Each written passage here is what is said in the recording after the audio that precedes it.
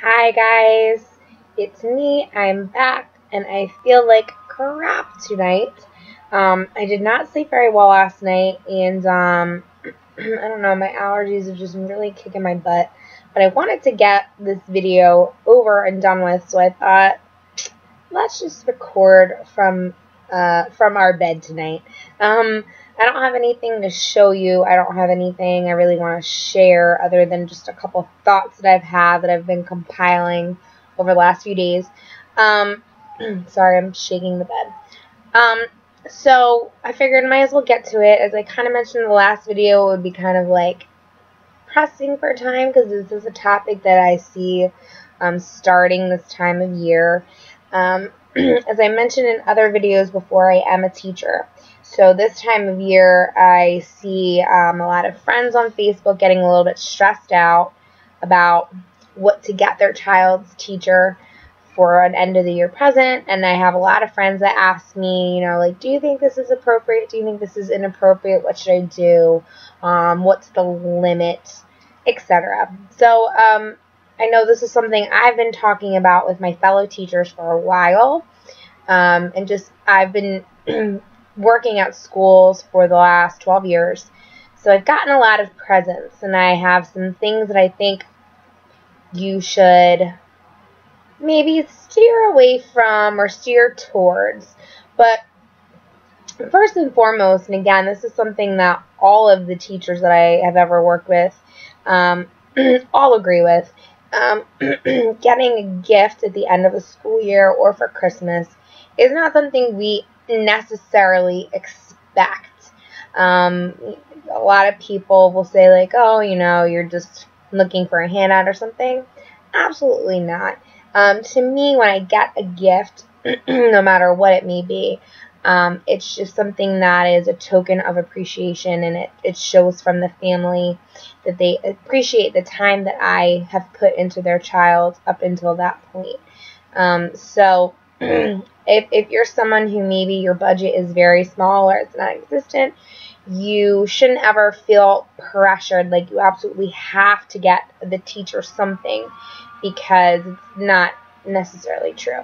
But um, I have a couple items, like some of them are um, items we get a lot of that you should steer away from because it'll just be another one on the pile um, and some other creative ideas of gifts that I've gotten in the past that I thought were really nice.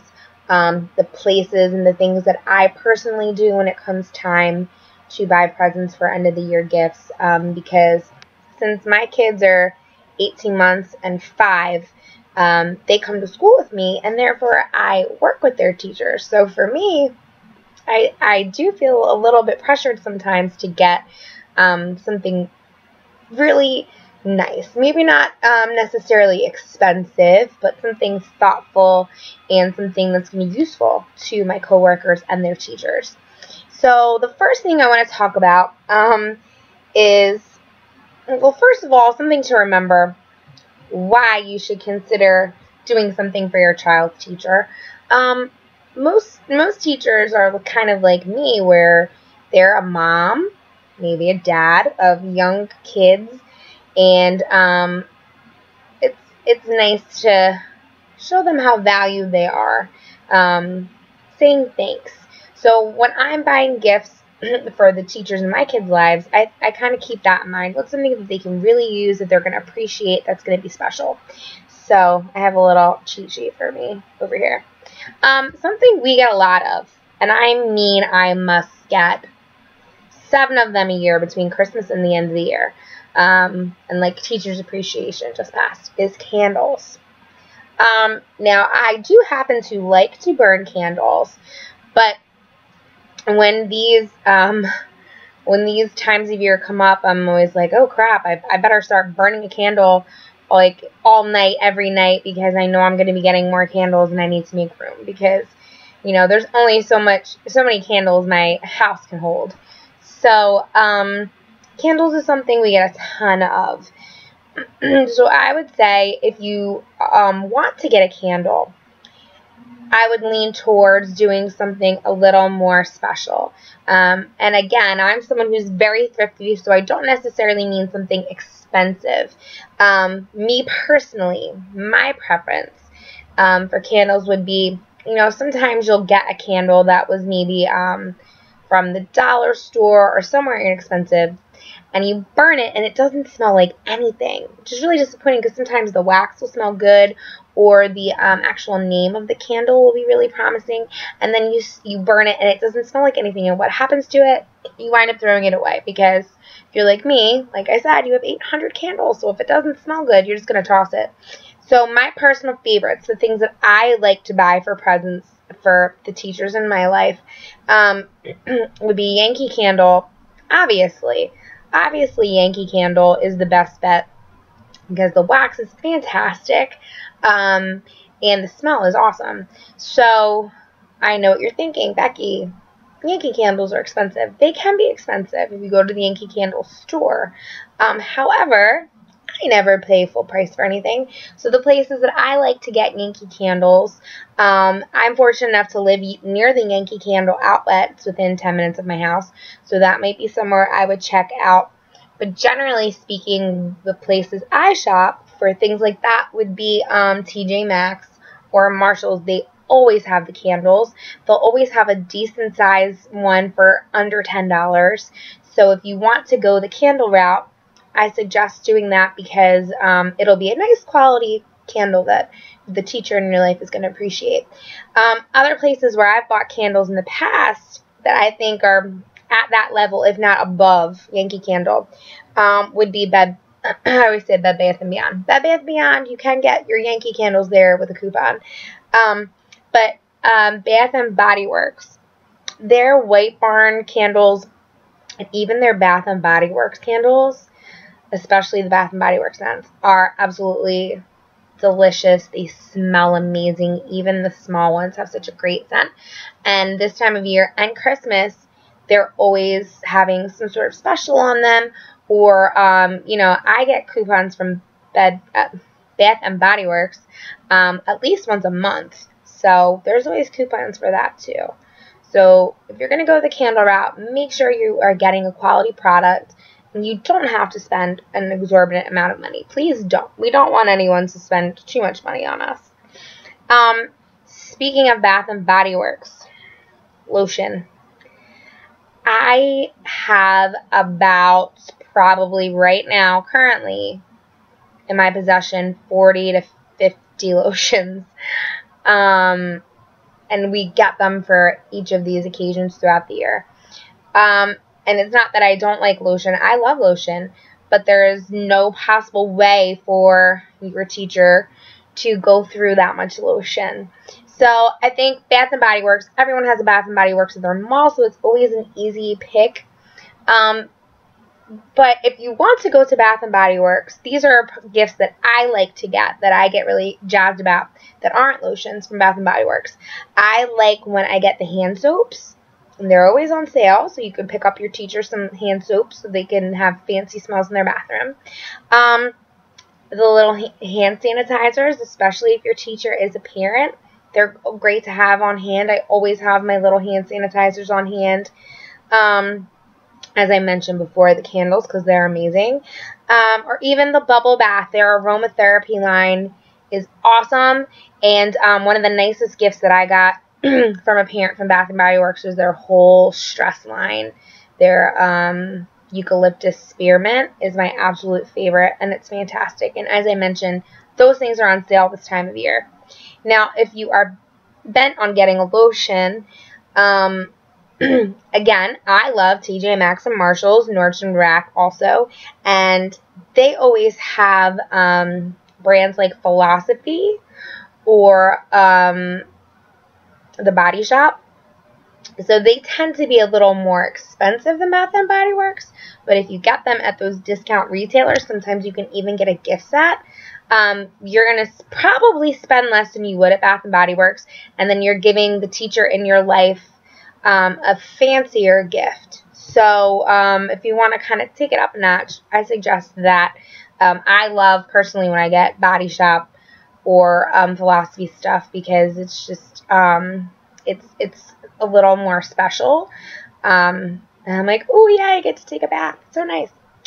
Um, mugs. Every year I have to cycle through mugs and really go through and see what I have to get rid of because that is another item we get so much of. So mugs, to be honest, I would avoid altogether because it, it does turn into a storage issue for your, your teacher in their cabinet. Unless this little caveat, and um, it kind of goes along with this whole next category. Um, gifts that I absolutely love and generally um, don't cost a whole lot, especially since it seems like we all seem to know someone who does this, um, maybe on the side for extra money. Um, personalized items. Boy, do I appreciate and love getting personalized items.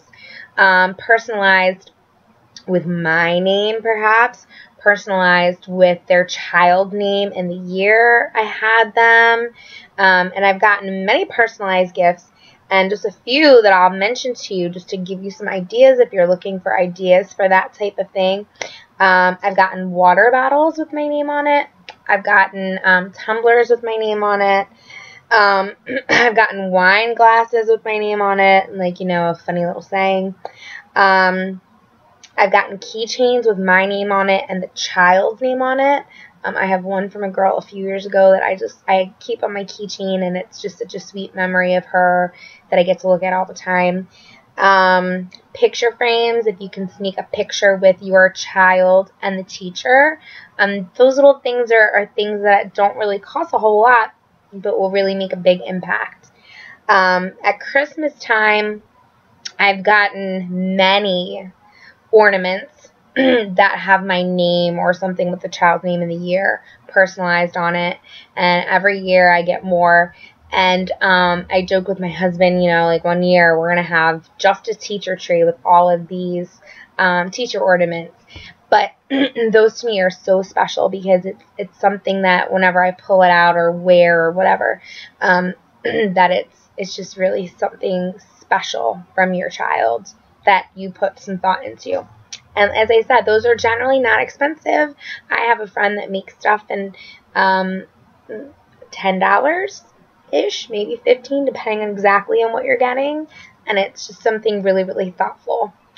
Um, something I love to get, and it is something that doesn't have to be expensive at all, and it's something that is going to be useful to your child's teacher, and that would be school supplies. Some of my favorite gifts that I've gotten, um, and I'm running low on these, so I hope somebody else thinks of it soon, um, was I've gotten like a like a whole bag full of different shape and colored post-its.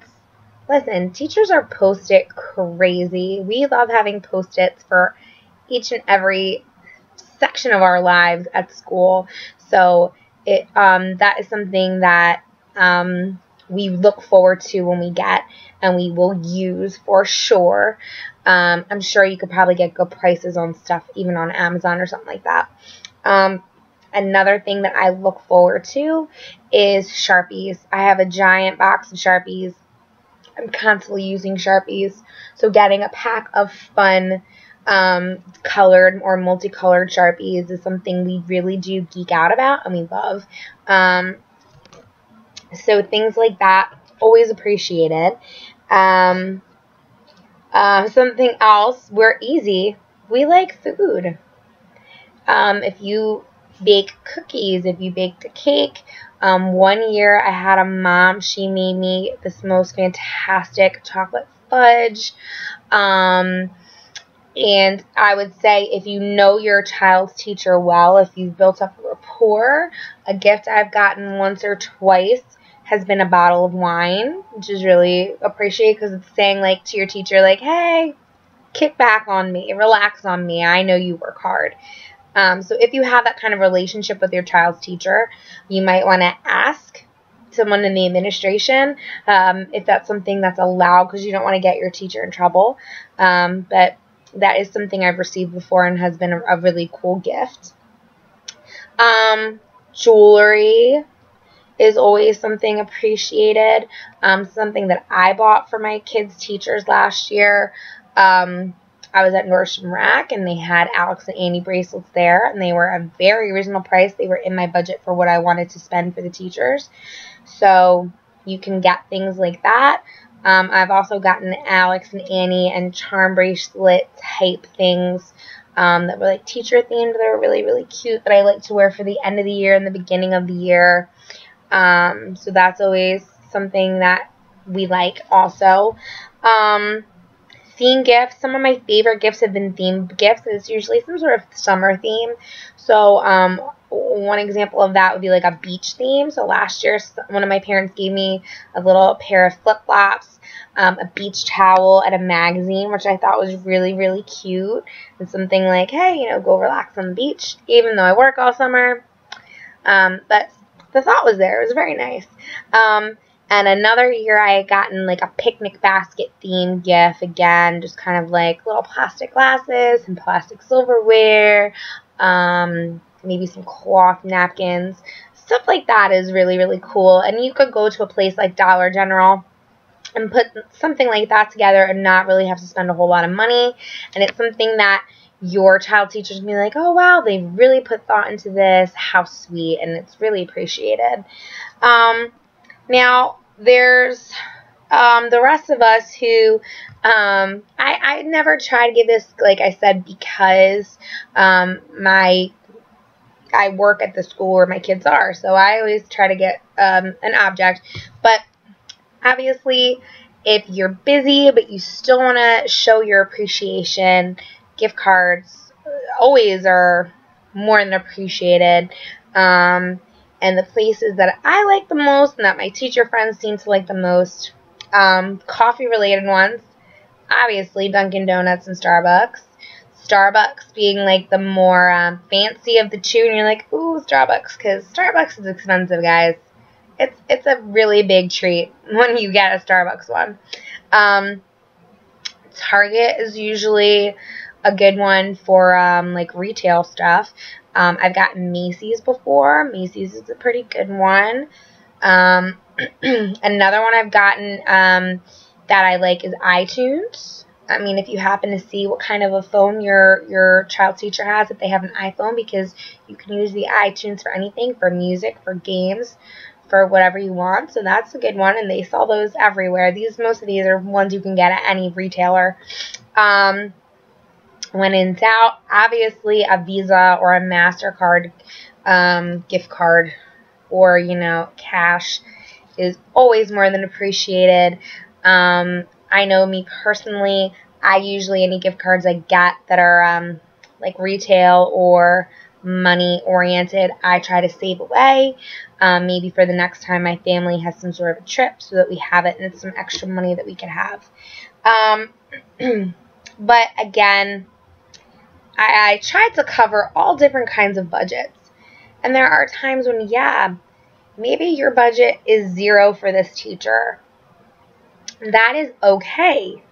Um, no teacher would ever want you to take food out of your child's mouth to get them a gift because um, we don't get into this profession for the money, obviously. We get into it for the kids. So um, if you don't have money, and this sounds cliche, and we all say it because it is so true. My hair's falling out. Um, but we love handwritten cards from you, depending on how old your child is, if they can write a note, um, or if they can even just write a signature. Um, I have pictures that were drawn from me from 10 years ago from kids um, just with something like I love you and, and you're special or thank you so much. It really is something um, that we treasure. And like I said, you know, I, everyone I talk to says the same thing. It's not about um, showing off with your teacher um, or, you know, that we feel we, we want, we need, we deserve to be lavish with gifts. No. Um, but I think as a parent and as a teacher also, um, it's important to let the people that are with your kids know that you appreciate them.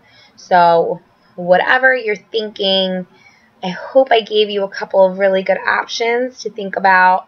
Um, and another question I hear a lot, just really briefly, is when to stop. Um, when do you have to stop giving your um, kids teachers gifts? I think you're gonna know what's what's appropriate. Um, maybe after elementary school. Personally, I think at the end of the year, a five dollar Starbucks gift card or Dunkin' Donuts gift card for an older kids teacher would really um, be a pleasant surprise. Um, I get a lot of questions about who.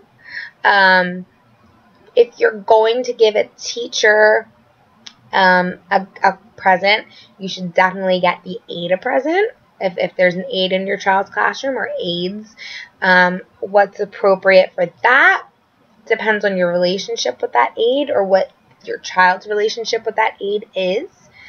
Um, if your child is someone that receives special services, like from a speech therapist or an OT or something, again, something small, just a token of your appreciation. I know that they are always so excited and so forward when they come to visit our kids and we have something waiting there for them. So if any if you guys have any other questions or kind of like um, just want to know what the etiquette on some of this stuff is, um, let me know. I'm happy to help. And um, again, the take home to this don't ever feel pressured that you have to do something. But um, whatever you can do or are willing to do is always so, so, so appreciated. And for me, um, it really just reminds me how much you're appreciated because sometimes it feels like um, you're not appreciated that much. And sometimes like days like today when I'm tired and I've had a long night with my own kids and you know it it helps motivate you knowing that you are making a difference in the lives of your kids because they're not just your students they're your kids. Um, hopefully I will have some content for you for next week. Um, I think I'm just gonna go to sleep so thanks for watching. Good night